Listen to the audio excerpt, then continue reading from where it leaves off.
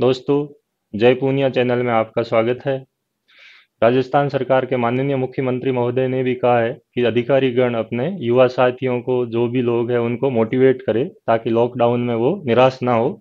उसी सिलसिले में हमने भी ये क्लास शुरू की है ताकि आप लोगों को मोटिवेशन मिले, प्रेरणा मिले। आज हम अपनी आर की क्लास में या सिविल सर्विसेज़ की क्लास में दक्षिण अमेरिका महाद्वीप की नदियाँ और घास के मैदान हम पढ़ेंगे। सबसे पहले हम नदियों को पढ़ेंगे।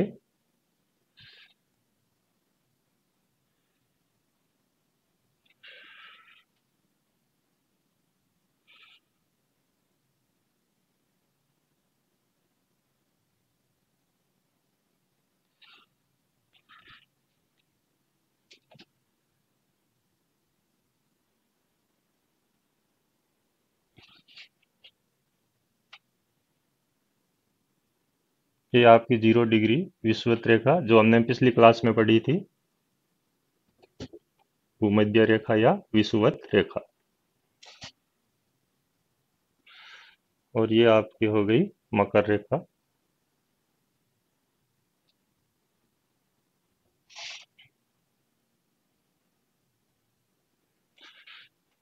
दक्षिण अमेरिका महाद्वीप की जब हम नदियाँ शुरू करते हैं दोस्तों तो सबसे पहले जो नदी आती है, आप लोगों के सभी के ध्यान में आती है वो नदी। तो सबसे पहली नदी है वो आपके इस भाग में, जिसको हम अमेजन नदी के नाम से जानते हैं।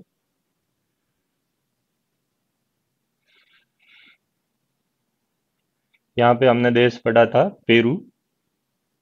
इस देश से एंडीज पर्वतमाला से ये निकलती है, जहाँ पे हमने एंडीज पर्वतमाला पढ़ी थी। लास्ट जो हमारी क्लास थी उसमें।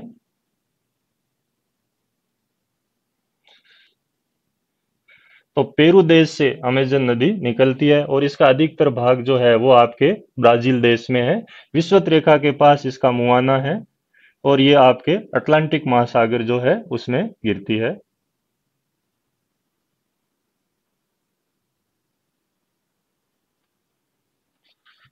अमेजन नदी के बारे में कुछ फैक्ट्स हम पढ़ेंगे। सबसे पहले इसके बारे में एक सामान्य परिचय मैं आप लोगों को बता दूँ।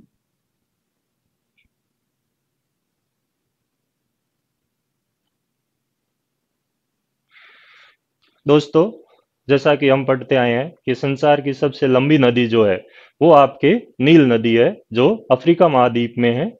और नील नदी की लंबाई लगभग six six seven zero kilometre है। और ये जो आपके अमेजन नदी है, ऐसा माना जाता है कि इसकी जो लंबाई है वो आपके six four seven zero kilometre, यानी लगभग पैंसठ सौ किलोमीटर के आसपास इसकी टोटल लेंथ है। नील के बाद संसार की दूसरी सबसे लंबी अगर कोई नदी है तो वो आपके अमेजन नदी आती है, यानी कि नील नदी संसार की सबसे लंबी नदी है और दूसरे नंबर पे आपके अमेजन नदी आती है। तो अमेजन की जो विशेषता हुई, दुनिया की दूसरी सबसे लंबी नदी।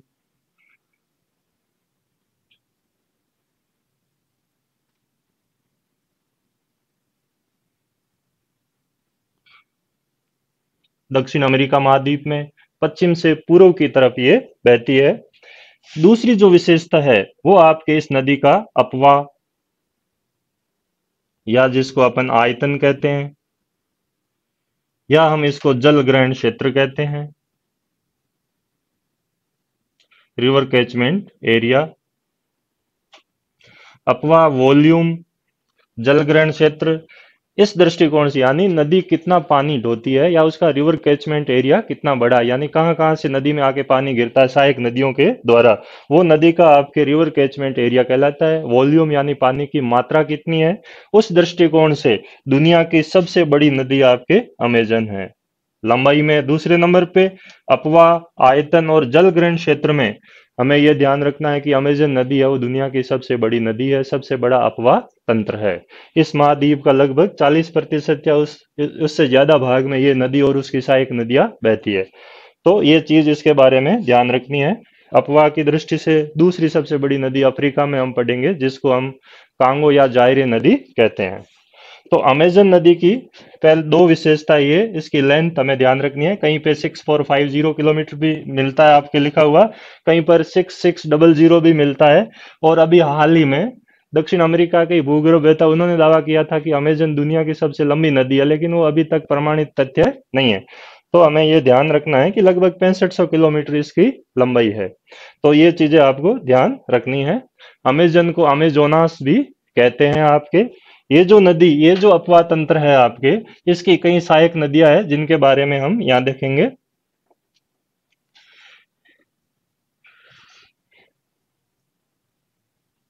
ये जो पहला भाग है आपके इसकी सहायक नदियों में, ये आपका बाया तट हुआ और ये जो नीचे वाला भाग है वो आपका दाइना भाग हुआ दाइना तट हुआ।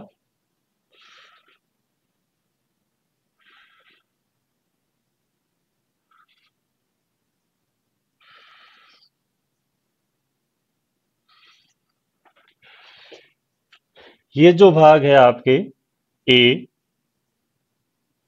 इसका नाम है उकियाली, उकियावली?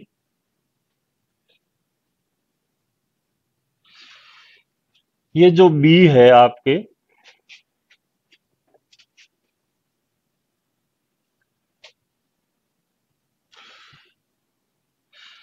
बी का नाम है आपके पुरुष। ये जो सी है, इसका नाम है मडीरा। मडीरा अमेजन की सबसे लंबी सहायक नदी है, लगभग 3400 किलोमीटर लंबी है, और इवन भारत की जो सबसे लंबी नदी है, जैसे आपके सिंधु है, ब्रह्मपुत्र है, या भारत के अंदर बहने वाली सबसे लंबी नदी है, गंगा है, उनसे भी इसकी लेंथ जो है वो ज़्यादा है अमेजन की सहायक नदी की। डी पे जो है आपके तापाजोश है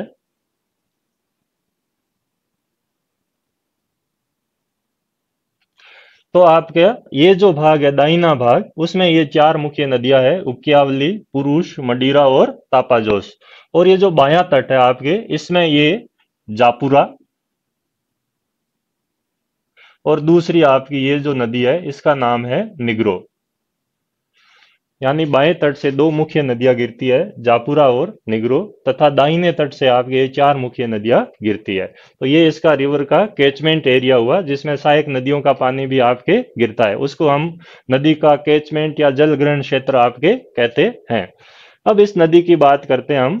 ओरिनिको नाम का व्यक्ति था, जिसने इस नदी की सबसे पहले खोज की थी, और उसी ने इसको अमेजोनास कहा था। तो अमेजोनास से ही ये आपके अमेजन बन गया है। निग्रो नदी का जो तटीय भाग है आपका, ये यहाँ पर नगर स्थित है और इस नगर का नाम है मनाउश। मनोश या मनाउश। तो इसको हमें ध्यान रखना है कि मनाउश यहाँ पर है। ये जो नदी है, इसका ये भाग जहाँ पे नदी समुद्र में गिरती है, अटलांटिक महासागर में तो अमेजन नदी जो है दोस्तों, डेल्टा नहीं बनाती, बल्कि ये एस्च्युअरी एस्च्युअरी का अर्थ हुआ ज्वार नदमुख। ये एस्च्युअरी का निर्माण करती है। जैसे आपके जहाँ पर नदी और समुद्र का तल बराबर हो तो वहाँ पर नदी की ढाल कम होती है तो नदी के अंदर जो मिट्टी या आपके सिल्ट की मात्रा होती है, उसका वहाँ निक्षेपण हो जाता है डिपोजिशन हो जाता है, जिससे मिट्टी के ढेर लग जाते हैं। और नदी का पानी शाखाएँ बना के ऐसे आपके फैलता जाता है उन ढेर के बीच में। तो इस तरह से जो आकृति मिल, बनती है आपके त्रिभुजाकार, उसको हम डेल्टा कहते हैं। डेल्टा यूनानी भाषा में त्रिभुज को कहते हैं। ऐसी चापाकार आकृति आपके डेल्टा कहलाती है और इसमें नदी का मीठा पानी भरा रहता है, जबकि एस्चुरी जो होती है, वो एक अलग चीज़ होती है, जहाँ पर नदी सीधे या तो पर्वत से निकलकर समुद्र में घुस जाती है, या किसी ब्रंश घाटी से बहती हुई नदी सीधी समुद्र में चली जाती है तो ज्वार के समय समुद्र का पानी नदी के मुआने में भर जाता है। तो ऐसे भागों को हम एस्चुरी या ज्वार नदमुख कहते हैं। जैसे भारत में नर्मदा, ताप्ती या पश्चिमी घाट की जो भी नदियाँ हैं, मांडवी, जुआरी, गोवा की, सरबती, कर्नाटक में, ये सारी नदियाँ सीधी अरब सागर में गिरती है और वो पश्चिमी घाट से गिरती है। उनकी ढाल कम नहीं होती तो वो आपके सारी की सारी ऐश्चुरी या ज्वार नदमुख बनाती है। नर्मदा और तापी क्योंकि भ्रंश घाटी से बहती है तो वो भी आपके ऐश्चुरी का निर्माण करती है। तो ये चीज़ हमें यहाँ ध्यान रखनी है। तो अमेजन नदी भी आपके एस्चुरी या ज्वार नदमुख का निर्माण करती है। इस नदी का जो ये मुआना है, यहाँ पर दो द्वीप है, एक का नाम है माराजू नदी द्वीप और दूसरा है आपके बनावल नदी द्वीप, रिवर आइलैंड। जो नदियों के मध्य या तो नदी के द्वारा अपर्दन करने से कोई भाग द्वीप या रूप ले लेता है, या कई बार ऐसा होता है कि नदी मिट्टी जमा करते है, जिससे द्वीपों का निर्माण होता है, जैसे गंगा सागर द्वीप है, न्यू मूरे द्वीप है अपने यहाँ, जो बाद में अपर्दित हो गए गायब हो गया, भारत, बांग्लादेश के बीच विवादित था। तो उस तरह की जो चीज़ें होती है आपके, नदियों के द्वारा निर्मित द्वीप है, वो नदी द्वीप कहलाते हैं। संसार का क्षेत्रफल की दृष्टि से अगर आपको सबसे बड़ा नदी द्वीप पूछा जाए तो हमारे ध्यान आता है माजुली। तो माजुली दोस्तों, क्षेत्रफल की दृष्टि से दुनिया का सबसे बड़ा नदी द्वीप नहीं है। दुनिया का सबसे बड़ा क्षेत्रफल की दृष्टि से अगर नदी द्वीप है तो बनावल है, आप इसको ढूंढेंगे तो पचास नंबर पे मिलेगा द्वीपों में।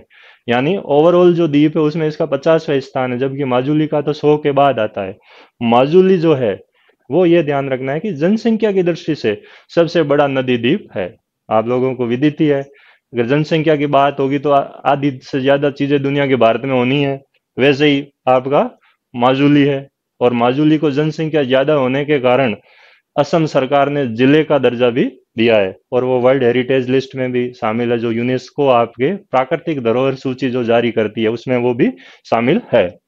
तो यहाँ पर यह ध्यान रखना है कि ये जो बनावल द्वीप है, वो भी आपके हेरिटेज लिस्ट में शामिल है और अपने यहाँ भारत में जो है आपका माजुली द्वीप, वो भी उसी का पार्ट है। तो ये नदी जो है, नदीय द्वीपों का निर्माण करती है, जिसमें बनावल और माराजो नदी द्वीप आता है। मोराजो या माराजो बोलते हैं आपके। तो ये तो इस नदी के अपवाह की बात हुई कि ये नदी कहाँ से निकलती है। तो एंडीज में, पेरू देश में एंडीज पर्वतमाला से निकलती है। मुख्यतः पेरू और ब्राज़ील में बहती है। यानी एंडीज की जो मुख्य धारा है, वो केवल दो देशों में है, पेरू और ब्राज़ील में। जबकि सहायक नदियाँ जो है, वो पराग्वे, वेनेजुएला, कोलंबिया, इन देशों से होकर भी आती है। तो मुख्य धारा के हिसाब से दो ही देश हुए आपके। विश्वत रेखा इसके उत्तर में गुजरती है, मुआना जो है वो विश्वत रेखा पे है। आयतन के हिसाब से सबसे बड़ी नदी है। आयतन ज़्यादा होने का कारण है कि ये नदी ज़ीरो से लेके दस डिग्री के बीच में बहती है, जिसको हम विश्वत रेखीय निम्न वायुदाब क्षेत्र कहते हैं। या विश्वत रेखीय वर्षावन यहाँ पाए जाते हैं। यानी कि यहाँ पर वर्षा की मात्रा जो है वो 200 सेंटीमीटर या उससे अधिक होती है। यानी यहाँ वर्षा की मात्रा ज़्यादा होती है, इसलिए इसमें पानी की मात्रा, यानी पानी का जो वॉल्यूम है वो आपके ज़्यादा है, क्योंकि ये पूरी की पूरी उसी क्षेत्र में होकर ही बहती है। तो आयतन ज़्यादा होने का जो मेन लॉजिक है वो आपके ये है। इसका जो मुआना है वो लगभग आपके चालीस किलोमीटर से भी चौड़ा मुआना है इस नदी का, जहाँ पे ये एस्चुरी बनाती है। तो ये आपके इसकी सामान्य विशेषता हुई, हमने पढ़ी, अमेजन नदी का बहाव। अब अमेजन नदी की जो दूसरी विशेषताएँ हैं, जिनके लिए ये आपके और चीज़ों के लिए जानी जाती है, वो हम यहाँ ध्यान रखेंगे।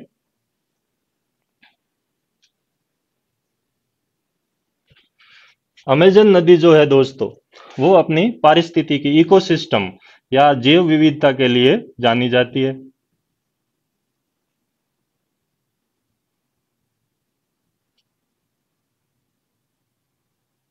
बायोडाइवर्सिटी या जैव विविधता के लिए जानी जाती है आपके।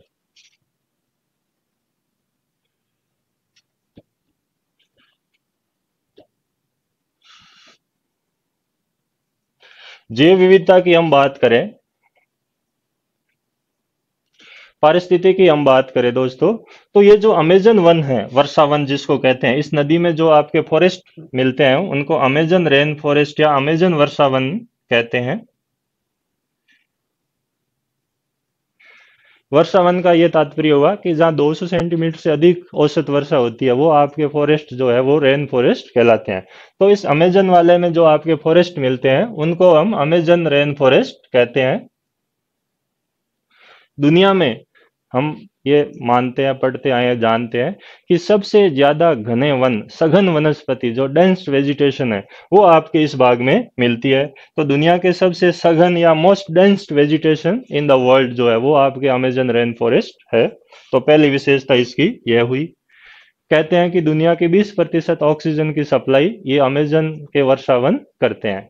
यानी इतना इनका महत्वपूर्ण स्थान है। इसीलिए इनको संसार के फेफड़े या लंग्स ऑफ़ द वर्ल्ड भी कहते हैं। ये क्वेश्चन आर एस प्रिलिम्स में पूछा भी गया कि लंग्स ऑफ़ द वर्ल्ड कौन से है? तो दुनिया के फेफड़े जो है, वो आपके अमेजन वर्षावन है। फिर यहाँ कई प्रकार की जैव विविधता है। बोटेनिस्ट जो है, वो कहते हैं कि यहाँ 180 टाइप की प्लांट स्पीसीज पाई जाती है और जंतुओं की भी खूब सारी प्रजातियाँ पाई जाती है। जैसे पादप प्रजातियों की हम यहाँ बात करें तो यहाँ रेड वुड मिलता है। लाल लकड़ी जो है, जिसको ब्रासिलिया कहते हैं। इसी ब्रासिलिया के नाम पर ही इस देश का नाम जो है, वो आपके ब्राज़ील और राजधानी को ब्रासिलियस कहा जाता है। तो एक तो आपके रेडवुड हुआ। दूसरा यहाँ पे आपके मोनियाक वृक्ष मिलता है, जिससे टेपियाक निकाला जाता है। इस तरह की वेजिटेशन है। कसावा निकाला जाता है इससे, जो खाने के काम आता है आपके। तो मैनियाक टेपिया, कसावा के लिए भी ये जानी जाती है। फॉरेस्ट, फिर आपके यहाँ पे वालसा लकड़ी मिलती है, जो संसार की कहा जाता है कि सबसे हल्की लकड़ियों में से एक है। बाकी सिल्वर वुड वगैरह ऐसी पादप स्पीसीज यहाँ पर पाई जाती है, जो ये वन है। इनकी ऊंचाई लगभग 60 से 70 मीटर ऊँची होती है, कैनोपी होती है, घने आवरण वाले वन है। यहाँ पे वर्षा धूप नीचे बहुत ही पत्तियों से पानी टकरा कर नीचे तक पहुँचता। है चौड़े पत्तियों वाले जो वृक्ष है वो आपके यहाँ मिलते हैं। तो नीचे आपके घना अंधेरा ऐसी सी मक्खी जो, जिसको कहते हैं कि काटने से इंसान की मृत्यु तक हो जाती है, ऐसे ही आपके मक्खियाँ यहाँ पर पाई जाती है। जंतु प्रजातियों में आपके यहाँ पर खूब सारी चीज़ें हम देखते हैं, पढ़ते हैं, जैसे अनाकोंडा है फिर आपके रियो, जो बर्ड्स है, वो आपके इस भाग में मिलती है। तो अनाकोंडा के लिए भी ये अमेजन रेन फॉरेस्ट जाने जाते हैं। रियो के लिए भी आपके अमेजन रेन फॉरेस्ट जाने जाते हैं। कैंडोर पक्षी जो है, इस दक्षिण अमेरिका महाद्वीप में मिलता है। नॉर्थ अमेरिका में भी मिलता है और साउथ अमेरिका में मिलता है। वो आपके लगभग एंडीज पे है, लेकिन इस अमेजन में जो पाए जाते हैं, वो आपके, जिनमें अन्नाकोंडा मुख्यत आपके शामिल है। फिर यहाँ मंकीज की कई प्रजातियाँ पाई जाती है। वेम्पायर बेट जो आपके खून चूसने वाला चमगादड़ वो भी आपके इसी अमेजन रेन फॉरेस्ट में एक मिलने वाली स्पेसीज है। तो इस तरह से हम यहाँ देखते हैं। इसी तरह एक बड़ा स्तनपाई तापीर नाम का जानवर भी आपके अमेजन रेन फॉरेस्ट में मिलता है। तो अमेजन रेन फॉरेस्ट में तापीर हुआ रियो हुई, अनाकोंडा हुआ, इस तरह से आपके जंतु या पक्षियों की प्रजातियाँ भी इस भाग में देखी जाती है। तो ये आपको ध्यान रखना है। फिर इस भाग में आपके जनजातियाँ भी मिलती है, जिसमें एक जनजाति है बोरा। बोरा जनजाति कहा जाता है कि वो खून पीने वाली जाति है, जनजाति है दुनिया में जो मनुष्यों का खून पीती है। इसी तरह जो बेट है वेम्पायर बेट, वो भी खून पीने वाला, खून पीने वाले लोग अधिकतर यहाँ रहते हैं, ये ध्यान रखना हमें। तो आपके ये चीज़ें है, फिर आर्मीनी को एक जंतु है, वो भी इसी भाग में मिलता है। तो ये आपके अमेजन की जो जैव विविधता है, वो दुनिया में सबसे भरपूर है। दुनिया का सबसे बड़ा जैव विविधता का क्षेत्र जो है, वो अमेजन रेन फॉरेस्ट है। अगर हम किसी देश की बात करें कि सबसे ज़्यादा जैव विविधता किस देश में मिलती है तो आपके मेडागास्कर होगा, जो हिंद महासागर का सबसे बड़ा द्वीप है, अफ्रीका के पास। और अगर पर्टिकुलर एरिया की बात करें तो वो आपका ये अमेजन रेन फॉरेस्ट है। 2019 में यहाँ पर अग्निकांड हुआ, जिसकी वजह से नुकसान भी हुआ। बॉल सेरेनो जो यहाँ के आपके ब्राज़ील के प्रेसिडेंट, उन्होंने इसको ज़्यादा सीरियसली लिया नहीं था मुद्दे को। और ये अमेजन वर्षावन, अगर यहाँ पे आग लगती है तो पूरी दुनिया के जो इकोसिस्टम है, उसके लिए ये खतरे की घंटी है। क्योंकि मैंने बताया कि 20 प्रतिशत ऑक्सीजन की सप्लाई ये अमेजन रेन फॉरेस्ट करते हैं। तो दोस्तों, यहाँ पर जो चीज़ें अमेजन के बारे में हमें ध्यान रखनी है कि एक तो अमेजन का अफवाह तंत्र फिर यहाँ का इकोसिस्टम वो हमें पढ़ना है। इकोसिस्टम क्या है? कौन सी बायोडाइवर्सिटी जीव और पादप प्रजातियाँ कौन कौन सी यहाँ पर मिलती है। तो ये आपका पहला जो टॉपिक हुआ, वो हमारा हुआ अमेजन फिर आपके दूसरी जो नदियाँ है, इसके बाद वो हम दूसरी नदियाँ पढ़ेंगे। अमेजन के बाद जो मुख्य अपवा तंत्र है इस महाद्वीप में दोस्तों, वो आपके आता फिर पराना पराग्वे और अमेजन के दक्षिण में जो अपवा तंत्र है उसका नाम है आपके टोकेंटिस। यानी पहली जो आपकी नदी है, वो अमेजन, और इसकी ये सहायक नदियाँ जो है, वो हमने पढ़ी। दूसरा जो महत्वपूर्ण टॉपिक आएगा आपके, या दूसरी मुख्य अपवा तंत्र आएगा, पहला आपका हो गया अमेजन। और सेकंड जो है, वो आपका इस भाग से शुरू होती है नदी, अमेजन के दक्षिण में।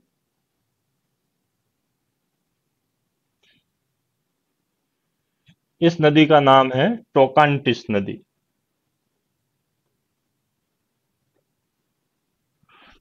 टोकांटिस नदी जो है आपके, वो यहाँ पर इसका अलग मुआना है, ये भी एस्चुरी बनाती है और मुख्यतः ब्राज़ील में बहती है। इस टोकांटिस नदी के तट पर जो नगर है, उसका नाम है आपके बेलेम, या इसको बोलते हैं पारो नगर।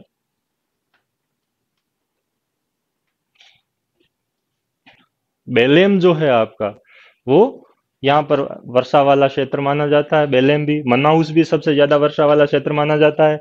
बेलेम जो है, वो रबड़ के लिए प्रसिद्ध। है ब्राज़ील में रबड़, अमेजन वर्षावन में भी मिलते हैं और यहाँ पर भी मिलते हैं। तो ये जो पारो नगर है, वो आपके एक रबड़ का निर्यातक बंदरगाह है। और यहाँ पर रबड़ की जो किस्म है, उसका नाम ही पारो है, इसीलिए इसको पारो नगर कहते हैं। तो टोकांटिस नदी के ऊपर बेलेम हुआ यहाँ पर यह भी ऐश्वर्य बनाती है और अटलांटिक महासागर में गिरती है। तो हमें यहाँ पारो ये ध्यान रखना है। पारो एक तो भूटान में अंतर्राष्ट्रीय हवाई अड्डा है, जो भारत ने निर्माण करवाया जिसका। एक पारो ये रबड़ है और तीसरी पारो से हमें कोई मतलब नहीं, वो याद नहीं रखनी आपको, ध्यान रखना। तो दो पारो हमारे लिए महत्वपूर्ण है, जो परीक्षा में पूछे जाएँगे। एक तो पारो रबड़ की किस्म और एक पारो आपका भूटान। तो दूसरा जो नदी अपवा तंत्र है, वो आपका हुआ टोकांटिस, पहला जो है वो आपके हुआ अमेजन। फिर इसके बाद तीसरी जो नदी आती है, जो अपवा तंत्र आता है आपके, उसको हम बोलते हैं पराना परागवे।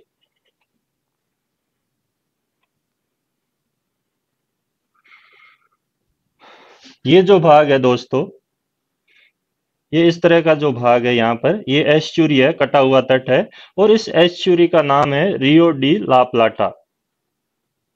लाप्लाटा की खाड़ी भी कहते हैं इसको। रियो डी लाप्लाटा ये जो रियो डी लाप्लाटा है, ये जो भाग है आपका जैसे अपन पढ़ते हैं कि संसार का सबसे बड़ा डेल्टा तो आपके ध्यान में आता है कि सुंदरवन डेल्टा है, जो भारत व बांग्लादेश में फैला हुआ है। इसी तरह अगर संसार की सबसे बड़ी एस्च्योरी पूछी जाए आपके, ज्वार नदमुख कौन सा है तो आपका आंसर होगा रियो डी लाप्लाटा, या लापलाटा की खाड़ी, जो अमेजन का, सॉरी, अटलांटिक का एक भाग है।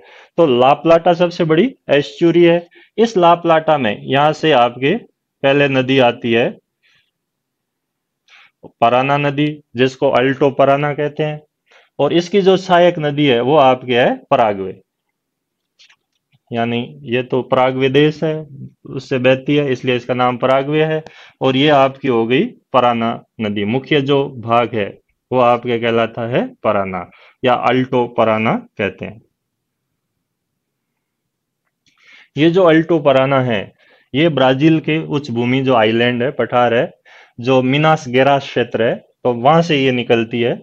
और ये पराना नदी जो है आपके, परागवे व ब्राज़ील की सीमा बनाती है। पहला ये ध्यान रखना है किसकी सीमा बनाती है? परागवे देश और ब्राज़ील। परागवे की सीमा अर्जेंटीना से बनाती है और ब्राज़ील व अर्जेंटीना की सीमा बनाती है। यानी कि प्रागवे की सीमा तो दोनों से होगी, ब्राज़ील और अर्जेंटीना से, और ब्राज़ील व अर्जेंटीना की सीमा भी बनाती है। ये इसके बारे में महत्वपूर्ण चीज़ है। पहली जो सीमा है, ब्राज़ील और प्रागवे देश की, वहाँ पर, इस पराना नदी पर हमें ध्यान रखना है। महत्वपूर्ण चीज़ स्थित है, जिसका नाम है इगियाजू जलप्रपात। वाटरफॉल दोस्तों झरना जिसको हम कहते हैं वाटरफॉल कहते हैं, संसार का सबसे चौड़ा जलप्रपात अगर आपको पूछा जाए तो वो आपकी है इगियाजू जलप्रपात, जो पराग्वे और ब्राज़ील की सीमा पर है। दुनिया का दूसरा सबसे चौड़ा जलप्रपात नियाग्रा नहीं है, जैसा कि अधिकतर हम पढ़ लेते हैं, वो है आपका विक्टोरिया, जो जेम्बेजी नदी पे है, जाम्बिया और जिम्बाब्वे की सीमा पर। तो इसी तरह जो आपका इगियाजू जलप्रपात है, वो आपके ब्राज़ील व पराग्वे की सीमा पर संसार का सबसे चौड़ा जलप्रपात है। दूसरा, यहाँ पे ब्राज़ील और अर्जेंटीना की सीमा है। उस पर महत्वपूर्ण चीज़ है, वो है आपका इत्यापू बाँध। तो ये तो हुआ जलप्रपात और ये हुआ आपका बाँध। इस महाद्वीप का सबसे बड़ा जल विद्युत केंद्र जो है, वो आपका इत्यापू है।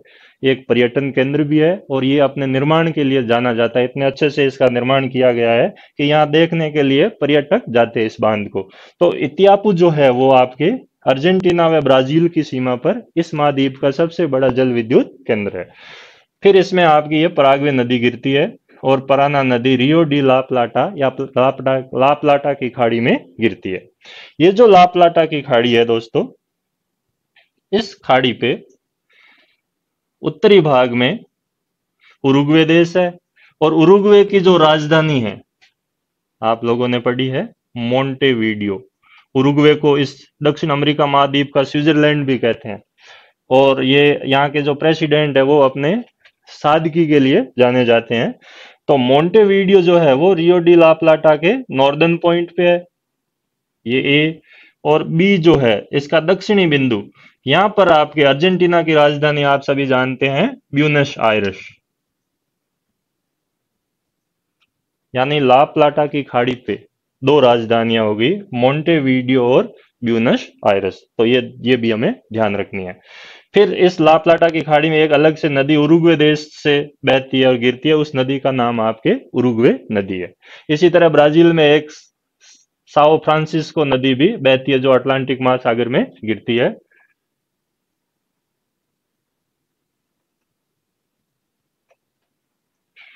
तो ये है। तो ये यहाँ की कुछ महत्वपूर्ण नदियाँ अपवाद अंतर है। यानी कि यहाँ पे हमने अमेजन पढ़ी, दूसरे पे टोकांटीस पढ़ी, फिर आपके सैन साउ फ्रांसिस्को नदी, फिर आपके यहाँ पे हो गई पराना और परागवे नदी, ये हो गई आपकी उरुग्वे, सबसे बड़ी एस्चुरी हो गई रियो डी लाप्लाटा पराना नदी की जो महत्वपूर्ण विशेषताएँ है, इगियाजू जलप्रपात और इतियापू बाँध। तो ये चीज़ें हमें पढ़नी है।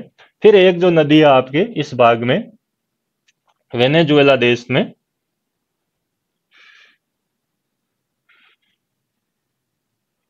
और इस नदी का नाम आप लोगों को ध्यान है। ध्यान नहीं है तो आज ध्यान कर लेते हैं हम। उसका नाम है ओरिनिको।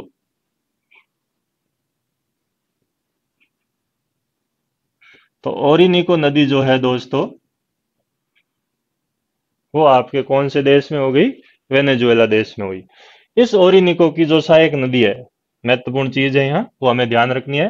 पहले ये ध्यान रखना, जो ओरिनिको नदी है, वो आपके नो, नौकागम्य नदी, पेडल्स रिवर भी नाम से भी जानी जाती है, और इसको जल प्रपात की भूमि भी कहते हैं लैंड ऑफ़ वाटरफॉल ओरिनिको को। इस ओरिनिको की जो सहायक नदी है आपके, उस सहायक नदी का नाम है कैरोनी।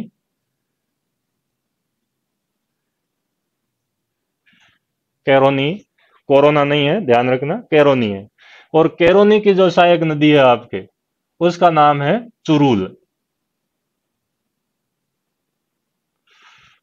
चुरूल जो नदी है, ये दोस्तों बहुत ही ज़्यादा महत्वपूर्ण है। इस चुरूल नदी पर दुनिया का सबसे ऊँचा जल प्रपात जिसका नाम है एंजल जल प्रपात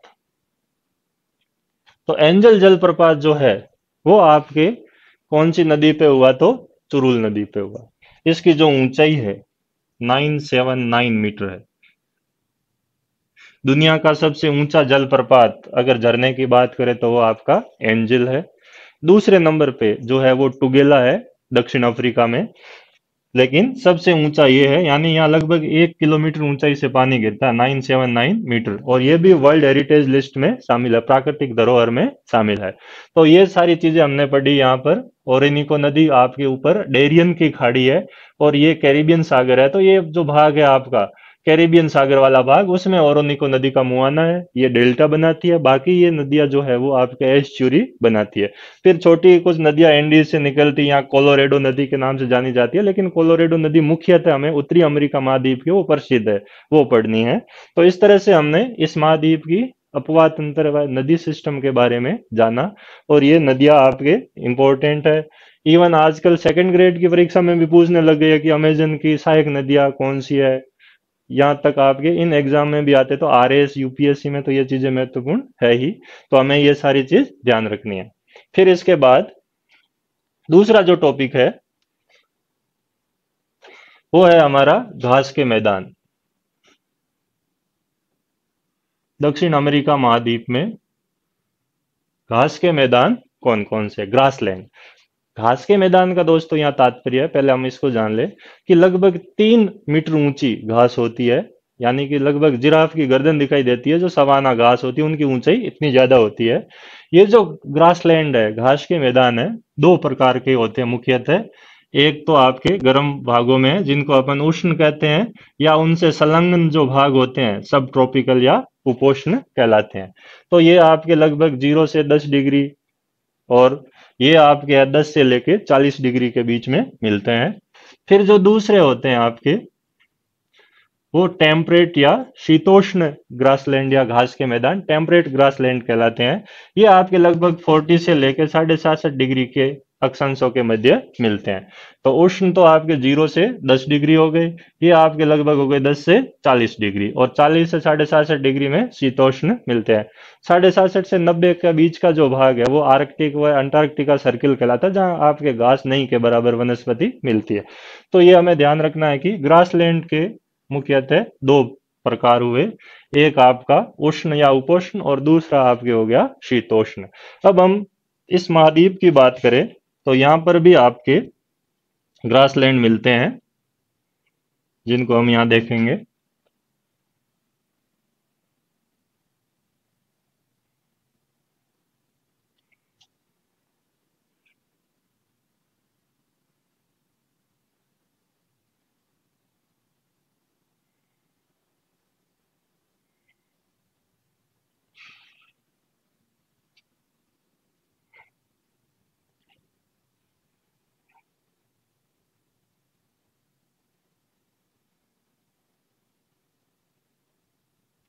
दोस्तों तो सबसे पहले घास के मैदानों में हमें ध्यान रखना है यहाँ।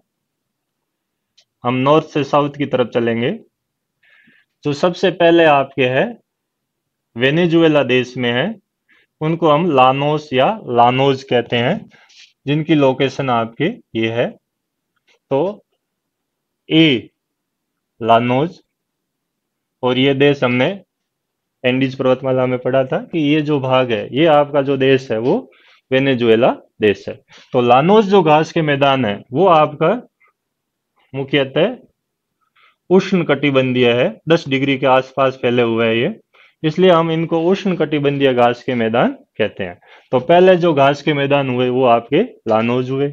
दूसरे जो है, वो विश्वत रेखा के पास मिलते हैं आपके।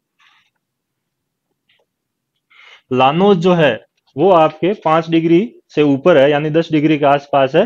तो ये सवाना तुल्य या सवाना जैसे घास के मैदान कहलाते जो अफ्रीका में सवाना मिलते हैं आपके पाँच डिग्री से बीस डिग्री उत्तरी अक्षांश या दक्षिणी अक्षांश के मध्य।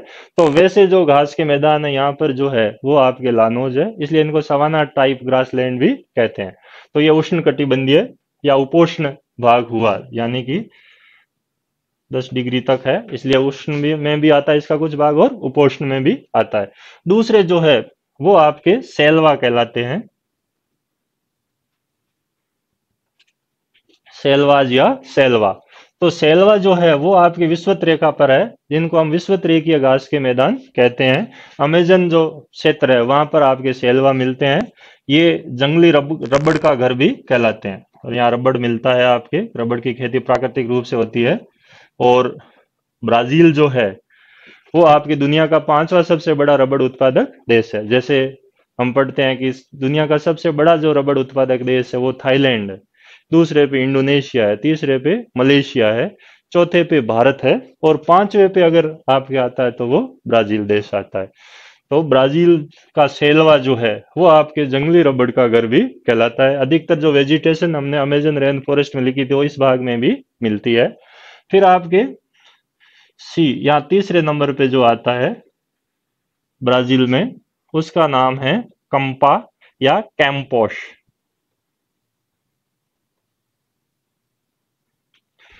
तो कंपा या कैंपोज जो है, वो आपके ब्राजीलियन पठार पर मिलते हैं।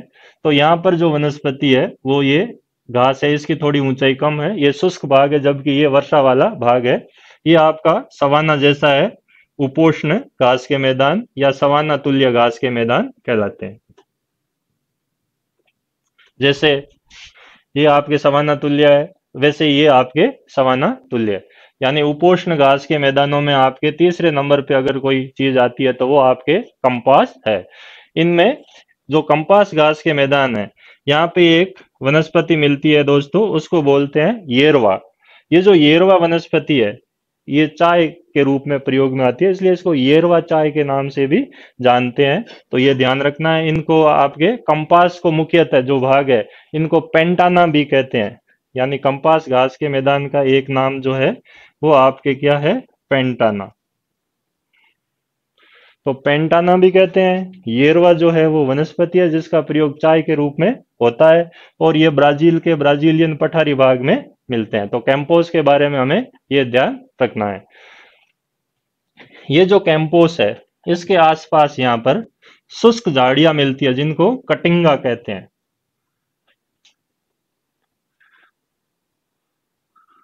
कटिंगा। शुष्क झाड़ियों को कहते हैं। कटंगा अलग है वो अफ्रीका में, अंगोला देश में पठार है। और ये आपके है कटिंगा झाड़िया, शुष्क झाड़िया जो इस कैंपोस के आसपास मिलती है। तो ये हमें ध्यान रखना है। तीसरे नंबर पे जो है वो ये। इसका जो मुख्यतः विस्तार है कैंपोस का, वो आपके ब्राज़ील में भी है अधिकतर विस्तार, और थोड़ा बहुत भाग इसका जो है पराग्वे देश में भी आता है। यानी दो देशों में है ये। ये जबकि एक एक देश में कैंपा जो हुआ आपके, वो दो देशों में हो गया ब्राज़ील और पराग्वे में। फिर आपका ये जो भाग है, यहाँ पर ग्रासलैंड मिलता है, चौथा जो डी है, इसका नाम है ग्रान चाको या चाको का मैदान।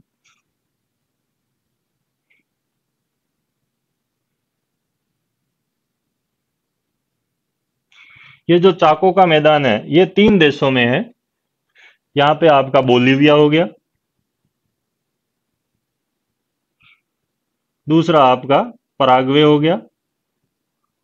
ये वाला भाग, और दक्षिण में आपका हो गया अर्जेंटीना। यानी तीन देशों में इसका विस्तार मिलता है, चाको के मैदान का या ग्रांड चाको। इसमें आपके एक वनस्पति मिलती है, जैसे वहाँ येरवा मिलती है आपके। हमने पढ़ा था कि कैंपा में येरवा मिलती है, जो चाय के रूप में प्रसिद्ध है। तो यहाँ पर माटे मिलती है, और पराग्वे की प्रसिद्ध चाय, माटे चाय है। कभी कभार आर में ये भी पूछा गया है, जैसे मोका कॉफ़ी पूछा गया है, यमन में मिलती है। इसी तरह Alta Vera Paz coffee Guatemala में मिलती है, उलांग चाय ताइवान में मिलती है। वैसे यहाँ माटे चाय हो गई, आपकी येरवा चाय हो गई। तो ये चाय की कुछ किस्में जो हमें ध्यान रखनी है। तो ये हुआ आपके ग्रांड चाको या चाको का प्रसिद्ध मैदान। तो चौथे नंबर पे जो घास का मैदान हुआ, वो ये। यहाँ पे एंडीज है तो यहाँ एंडीज के पूर्वी ढाल पर कुछ वनस्पति मिलती है, जो इस ग्रांड चाको मैदान में भी देखी जाती है, जिसको मोन्टाना कहते हैं। तो वो मोन्टाना वन जो है, वो आपके इस चाको मैदान वाले भाग में देखे जाते हैं, जो एंडीज का पूर्वी डाल है। एंडीज की डालों पर पाए जाने वाले ये वन है। फिर हम दक्षिण में बढ़ते हैं तो ये जो आपके पाँचवें नंबर पे यहाँ पे घास का मैदान है, सबसे लास्ट में, इसका नाम है पंपा या पंपास। यानी जो ई है, वो हम, हमारा हो गया पंपा। एस साइलेंट रहता है, ये पंपाज नहीं है, इसको पंपा बोलते हैं, पंपा का मैदान। तो ये जो दोस्तों, ये उपोष्ण ये उपोष्ण, ये उष्ण में उपोष्ण भाग और ये मुख्यतः उष्ण घास के मैदान। जबकि ये जो भाग है 40 डिग्री से दक्षिण में है तो ये पंपा जो है, मुख्यतः आपके हो गया कैसा? ग्रासलैंड, शीतोष्ण घास का मैदान। तो ये आपका शीतोष्ण घास का मैदान हुआ। शीतोष्ण घास के मैदानों की जो खास बात है, वो हमें ध्यान रखनी है कि वो दो कारणों से जाने जाते हैं। एक तो या तो वहाँ गेहूँ की खेती होगी, या फिर वहाँ भेड़ पालन होगा, ऊन के लिए। तो भेड़ जो दक्षिणी गोलार्ध की भेड़ है, वो हम सभी जानते हैं मेरीनो है। जैसे हमारे यहाँ चौकला है, वो राजस्थान की मेरीनो कहलाती है। तो दक्षिणी गोलार्ध की जो मुख्य भेड़ है, वो मेरीनो भेड़ है आपके। वो मेरीनो भेड़ यहाँ पर भी मिलती है, अर्जेंटीना में भी, दक्षिण अफ्रीका में भी न्यूजीलैंड में भी मिलती है और ऑस्ट्रेलिया में भी मिलती है। लेकिन पंपाज में मुख्यतः गेहूँ की खेती होती है। यहाँ पर जो मिट्टी मिलती है इस पंपा में, उसका नाम है चरनोज्म।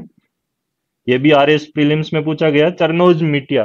दोस्तों, चरनोज्म जो मिट्टिया होती है, वो मुख्यतः ह्यूमस से बनती है, वनस्पतियों से बनती है और क्योंकि यहाँ घास का मैदान है, वनस्पतियाँ है तो वनस्पतियों के सड़ने से काला रंग हो जाता है। सबसे उपजाऊ मिट्टियों में से एक है ये। ये काले रंग की मिट्टी है। काले रंग की मिट्टी एक तो बेसाल्ट लावा से मिलती है, जो भारत में हम पढ़ते हैं, दक्कन लावा पठार में मिलती है। एक आपके जो है चरनोज्म ये भी काले रंग की होती है, जो शीतोष्ण घास के मैदानों में पाई जाती है तो ये ध्यान रखना है। चरनोज चेस्टनट पोर्टजोल इस तरह की मिट्टियों के कैटेगरीज है। तो यहाँ चरनोज मिट्टी सबसे उपजाऊ मिट्टियों में से एक। गेहूँ की खेती होती है। दक्षिणी गोलार्ध में सबसे ज़्यादा, गेहूँ का सबसे बड़ा उत्पादक देश अर्जेंटीना ही है। और ये अर्जेंटीना का हृदय कहलाता है। पंपा को हार्ट ऑफ़ अर्जेंटीना कहते हैं। इसके आसपास ये जो भाग है, यहाँ अर्धचंद्राकार पेटी है जहाँ गेहूँ की खेती होती है और उसको हम गेहूँ की अर्धचंद्राकार पेटी कहते हैं क्रेसेंट बेल्ट ऑफ़ व्हीट तो जो गेहूँ की अर्धचंद्राकार पेटी है दुनिया में, दोस्तों, वो भी अर्जेंटीना में मिलती है। उसमें मुख्य जो नगर है बाइया ब्लांका, रोजारियो रोजारियो, हम लियोनल मेसी को तो जानते ही हो आप लोग फुटबॉलर। तो वो रोजारियो का रहने वाला ये भाग है। तो बाइया ब्लांका रोजारियो जो है, वो भाग है, जहाँ पे गेहूँ की अर्धचंद्राकार पेटी मिलती है। गेहूँ की खेती के लिए ये प्रसिद्ध अर्जेंटीना का जो हृदय है, वो आपके कहलाता है पंपाज। तो हार्ट ऑफ़ अर्जेंटीना हुआ पंपा। तो ये जो हमने पढ़े, घास के मैदान, उत्तर से लेके दक्षिण की तरफ़ तो ये हमें ध्यान रखने हैं। इस महाद्वीप के हमारे लिए महत्वपूर्ण है। तो दोस्तों, दक्षिण अमेरिका महाद्वीप में हमने सबसे पहले नदियाँ पढ़ी अपवा तंत्र जो था, वो पढ़ा, ड्रेनेज सिस्टम। सेकंड नंबर पे हमने पढ़े ग्रास लैंड कौन कौन से हैं, उनके टाइप्स उनकी बेसिक जो फीचर्स थी, वो हमने पढ़ी। ये जो चीज़ें हैं, ये हमारे लिए बहुत ही महत्वपूर्ण है। परीक्षा में आपको ध्यान रखना है, विश्व भूगोल में हमें यही चीज़ें पढ़नी है। इसके अतिरिक्त हम इतिहास की क्लासेस भी आज शुरू करेंगे। आप अभी ये क्लास देखोगे इसके बाद गांधी जी पे आपके क्लास आयोजित होगी। पहली जो क्लास होगी गांधी जी पे, वो आपके फैक्चुअल क्लास होगी, तथ्यात्मक। फिर उसके बाद कॉन्सेप्चुअल क्लासेज होगी, जो मेंस के क्वेश्चंस आए हुए हैं, उनके बारे में हम डिस्कशन करेंगे, कैसे उनका आंसर लिखने हैं क्रिटिकल इवोल्यूशन कैसे करना है, ये सारी बातें भी इस चैनल पर की जाएगी। इसलिए आप जय पूनिया इस चैनल को ज़्यादा से ज़्यादा सब्सक्राइब करो शेयर करो, जुड़े रहिए दोस्तों, धन्यवाद।